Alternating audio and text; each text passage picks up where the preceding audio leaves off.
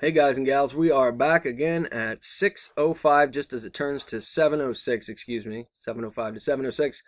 Uh, and we are running a two winner mini copy for Bee's uh, Jabba's Goons uh, battle. Uh, top two win spots in the main. I'm going to run this list over here to random.org to start our battle. Going to roll the dice, got to get at least a five. We got a five.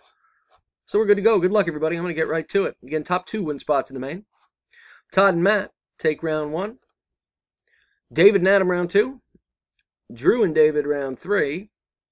David and Todd round four, our next to last round. And our winners are Adam Marks and Matt Garlic. Congratulations, guys. Here's our verification code IFEIEA.